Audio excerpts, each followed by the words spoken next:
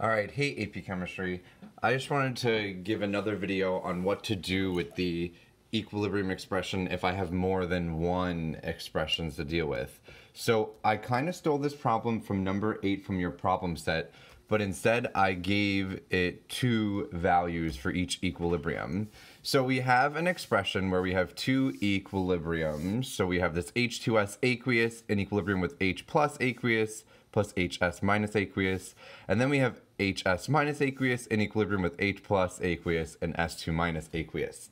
Now we saw this in chapter 14, what we do if I have two steps. If I want to get the overall reaction, I add up each individual side and put them together.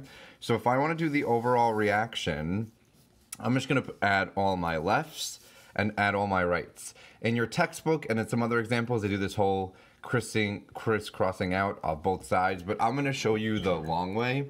So if I just add all my reactant side, I'll have H2S aqueous plus HS minus aqueous, and then I'll have, this looks like it's 2H plus, right? Because I'm just to do it anyway. So in equilibrium with H plus aqueous plus H plus aqueous plus HS minus aqueous plus S2, oop, S2 minus aqueous.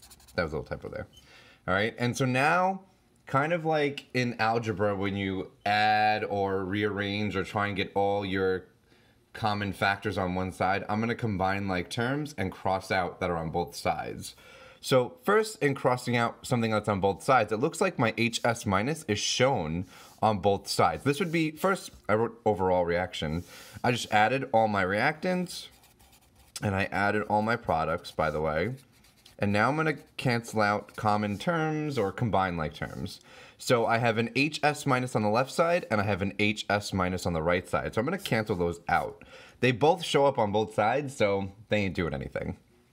It also looks like I have two H pluses on the right side, so I'm just going to combine those, and I have an S2 minus. So in general, I'll have H2S aqueous in equilibrium with 2H plus aqueous plus S2 minus aqueous. Okay, and this is going to have a K, I'm going to call it K3 value. Now, notice when I combined all like terms, this is still balanced. Two H's, two H's, one S, one S. And in the question it says, oh, this reaction can, is, happens in two steps. And you're gonna see this when we get to our acid-base chapter where we have something known as a diprotic or triprotic acid, which the H plus kind of falls up stepwise. So what do I do with my Ks when I combine two reactions? Well, when just to simplify, when I combine two equilibrium expressions, all I do is multiply their k's. So I had so my k3 is just going to be equal to k1 times k2. So 5 times 10, that's equal to 50. So this k is going to be this. To prove that, I mean, I, I want to still draw equilibrium expression so we know that. If I want to do the equilibrium expression for K1, it's just H plus HS minus over H2S because it's products over reactants.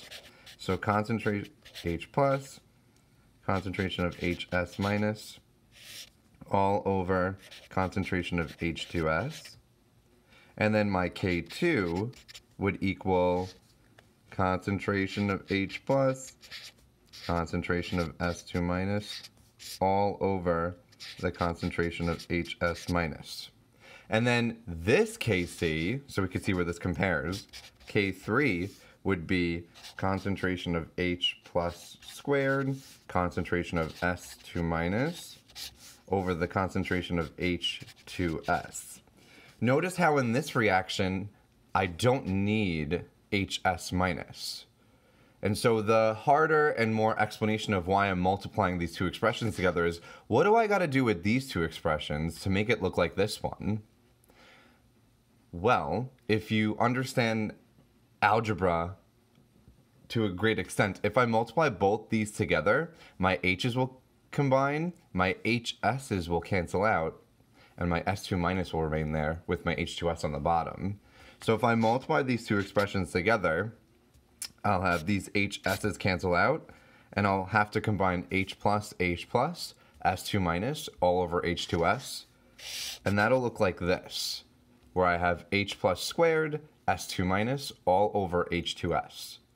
So again, in general, if I combine two reactions, I just multiply their k's. So I had a k1 was 5, I made up I made up this number. And this is your answer to question number 8 on the problem set.